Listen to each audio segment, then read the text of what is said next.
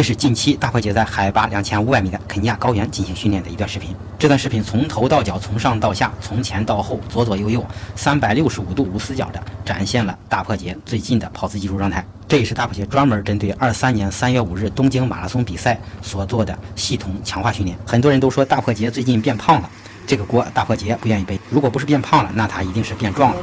确实如此。自从二零一五年加入俄勒冈计划，大破节就进行了长达七年不间断的系统的。针对跑者的力量训练，和七年前的那个大破节相比，他的肌肉维度明显大了一圈。所以对比七年前的那个大破节，他真的不是变胖了，他是实实在在的变得更加强壮了。十八年的跑步生涯让大破节变成一个修行者，他不断的在优化改进自己的跑步技术。如果你用心的观察对比，你就会发现大破节现在的跑步技术相对于几年前变得更加的成熟老辣。是的，用老辣这个词。通过对比，你会发现他的腿部力量相比几年前也明显的更加强大了。跑姿六字真言，中间紧，两头松，在大伯杰的身上展现的淋漓尽致。中间紧，核心收紧，两头松，他的上半身头比较放松，脖子放松，肩关节、肘关节、腕关节都非常放松。下半身呢，他的大腿、膝关节、小腿、脚踝也是非常放松的。他的腰背挺得很直，抬头略收下巴，目视前方，前后摆臂，前不露肘，后不露手。你仔细观察会发现，他每次摆臂时，大拇指的延长线是在鼻尖方向，因为鼻子是身体的中线，摆臂不要超过身体中线。跑步是一个上半身带动下半身的运动，所以说要体会重心在前，上半身带动下半身，以髋带腿。大腿带动小腿，晚拿腿早落地。早落地的目的是为了让身体重心快速跟上。跑步是身体给地面的反作用力来推动人体的重心向前，所以我们要学会利用重力做重力的朋友。晚拿腿的目的就是充分利用到身体的重力产生的反作用力，有劲儿向下使，有劲儿向后使，而不是向前跨。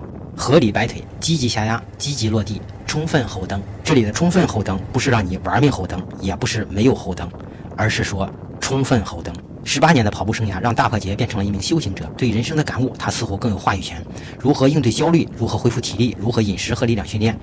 为什么他那么叛逆？失败的时候他在想什么？大破节说，跑马拉松时体能大概只占百分之六十，剩下的百分之四十则考验的是精神力量。他是亚洲跑步界的颜值担当，明明可以靠颜值吃饭，却靠马拉松征服世界。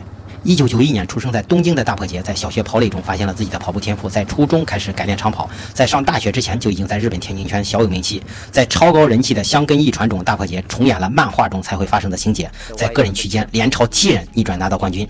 大破节就此一战成名。二零一四年大学毕业的他，就展示出日本长跑第一人的潜质。为了追求更好的自己，在世界长跑领域占有一席之地，他勇敢地脱离舒适圈。加入美国的长跑魔鬼训练营俄勒冈计划，和长跑名将法拉赫和盖伦卢普成为队友，同时也是该训练营的首位亚洲选手。训练两年后，二零一七年波士顿人生首马二小时十分二十八秒完赛，全世界为之震惊。随后的芝加哥马拉松，两小时零五分五十秒刷新舍勒犹太的亚洲纪录。东京马拉松又以两小时零五分二十九秒的成绩刷新了自己的 PB，拿到东京奥运会参赛资格。他潇洒飘逸的跑姿配合超高的颜值，成为全球跑圈的热门偶像。更多人关心大破节是怎么训练的，很少人关心大破节是如何思考的。这也是一些人练到一定时候无法提高的原因。十八年的跑步生涯让大破节变成了一名修行者，对人生的感悟，他似乎更有话语权。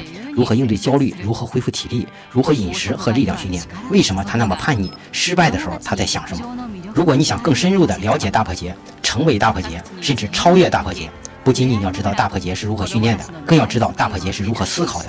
因为思维决定行为，行为决定结果。他潇洒飘逸的跑姿和那傲人的马拉松成绩，不过是他思维模式的结果呈现而已。人生的烦恼竟然都能在跑步的过程中找到解决方案。对那些不经常跑步的人来说，在大破节的这本书里也能找到力量。原来想要读这本书只有繁体中文版，价格高不说，看起来也着实费力。